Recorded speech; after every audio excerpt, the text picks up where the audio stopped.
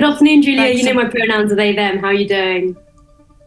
Yeah. Um, thank you for telling me your pronouns. I use correct grammar. So the only only thing I would need to refer you to is to your face would be you. But I'm, I'm not being rude. You can choose your pronouns. You can choose what you want to call yourself, but you don't have a, you don't get to require me to use incorrect grammar and factually incorrect things. You're not a plural. You're a, you're a, you're a one person, and you're a, you're a female person. So I will use she and her. Thank you very much.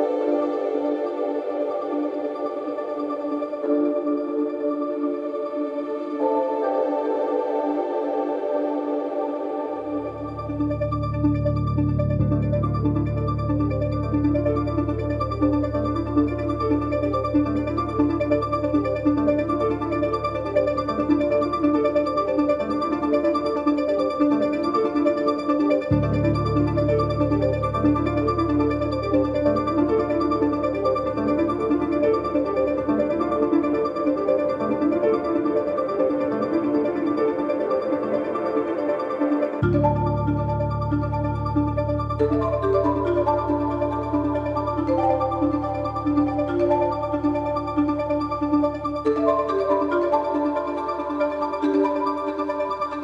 Well, we, I welcome the publication of the Cass report today, something that we commissioned, and it aligns with our approach on this issue. And that's that, of course, we must treat children who are questioning their gender with compassion and sensitivity, but we have to recognise that we need to move with extreme caution in these areas uh, because we just simply don't know the long term impacts of what this all means. And children's well-being is uppermost in our mind. And that's why we've acted on the interim findings previously, whether that's the NHS ban banning the routine use of puberty blockers or indeed the guidance that we gave to schools about how to treat these issues uh, in those environments, which again were warmly welcomed. I've been very consistent on this topic throughout my uh, career and I want to uh, make sure that we consider this report carefully, but we've already acted on the interim findings, and as I said, it's very much in uh, alignment with our way of thinking, which is to exercise extreme caution on these issues because we simply do not know the long-term consequences and impacts.